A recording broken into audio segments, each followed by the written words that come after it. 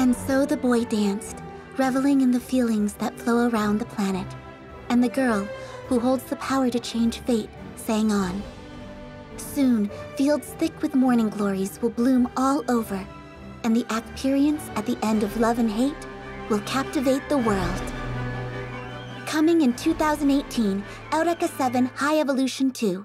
One world, one future. To be continued.